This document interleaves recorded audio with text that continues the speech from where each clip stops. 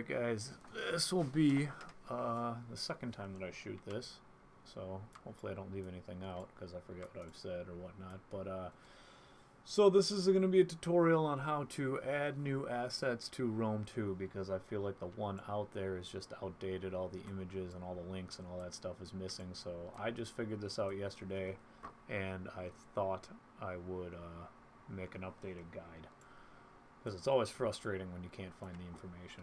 So anyway, this is the um, CA's version that they include in an assembly kit of their shield. So what I did is I brought in a shield and made it at the same positioning.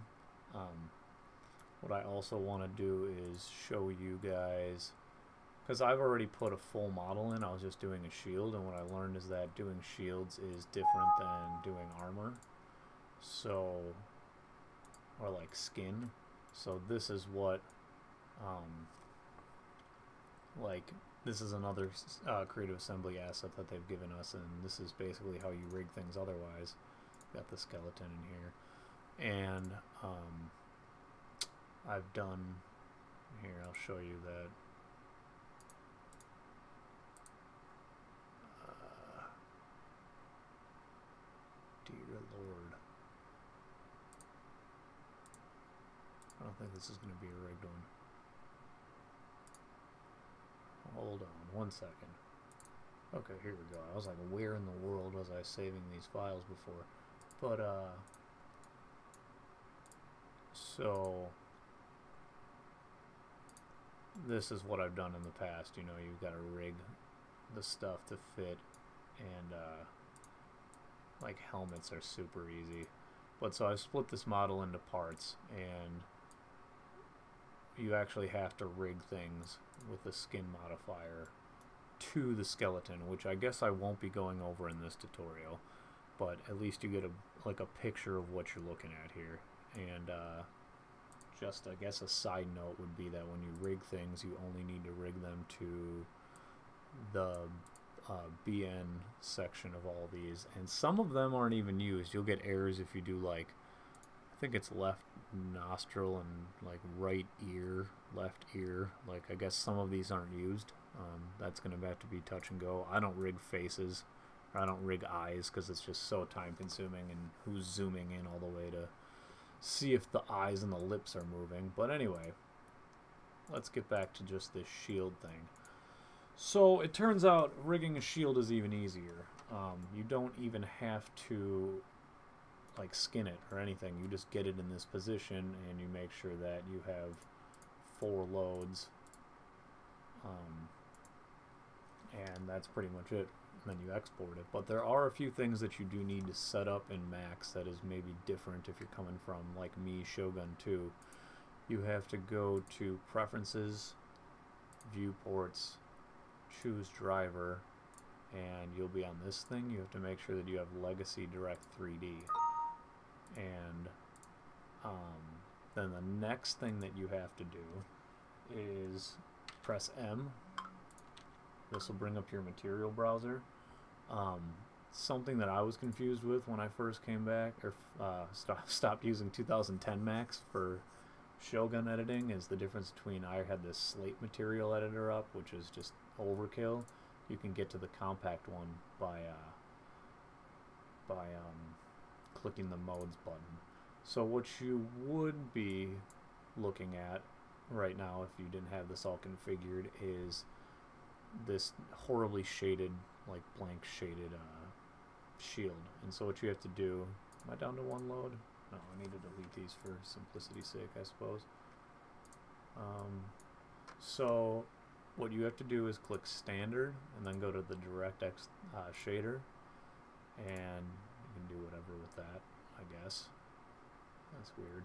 Maybe you don't keep whatever was there, but then you go into here and in your assembly kit that you downloaded from CA, you uh, find the shader file that they gave you and make sure you click that. That'll open up a whole new list of options here and what you need to do is get your diffuse level all that good stuff on there and I made these in the last video so let's see if I can just pull this up in Photoshop. Oh, god damn it. Yeah, maybe I'll just do it again for a guide because I guess a lot of people don't. Um, maybe there's not a... You never find a ton of information about this part on here, so... Come on. There we go. So this is the diffuse. Now what you need to do is convert this DDS file into a TGA file. And I'll just do this in this folder instead of navigating to where I did this before. But you have to name this uh, whatever you want underscore diffuse, okay?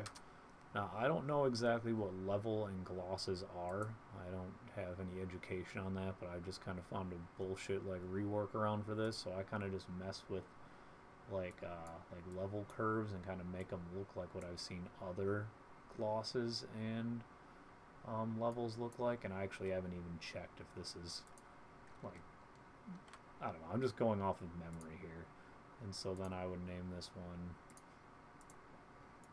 level.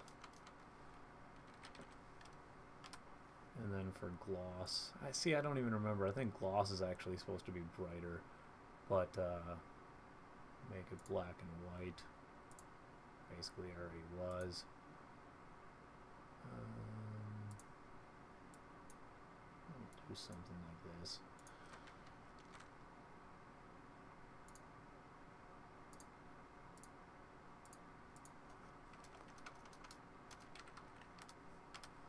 And then this is a plugin that you'll probably need. Uh, map filter converts it to a normal bump map. So these are how your textures need to be um, formatted and named. And once you've done that, then you come into here and you've got to apply them. Uh, desktop.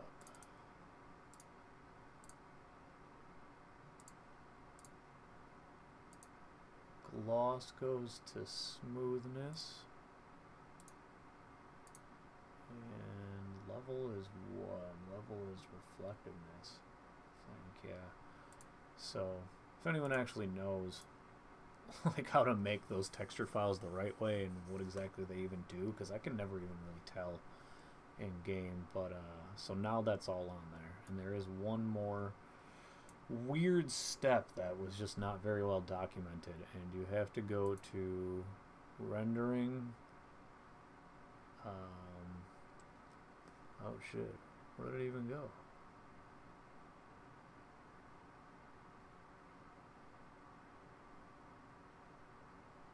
Hold on one second.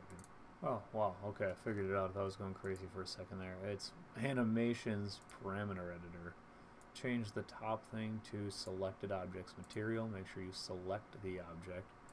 Change this to string. Then this to rigid oh man, material. Now, why this happens, I don't know, but CA loves having this. You'll get an error with uh, Bob when you process this if you don't have it. And then for armor and all my other stuff, I did weighted, which is I'm not even entirely sure what all how these things come together. But for a shield, I've come to learn that you just do default. And then you click add. And this will put that onto here, so you know you've got it. After this, you can close that out. Um, what you need to make sure is that you have four copies of this, four LODs. So clone a copy, not an instant instance, make sure that you've only got this amount of zeros, so it's all structured the same. And if anyone knows how to get 3ds Max to stop adding those extra zeros, I forgot. So that'd be cool if you could comment that down below. But, uh, so now you've got your four with that. Export, this is another thing that you need to get from the assembly kit, is the plugin to export CS2 files and you would just name this CS2 file export and that will pretty much do it um, yeah similar process for the armor, basically the same thing, but having to rig it.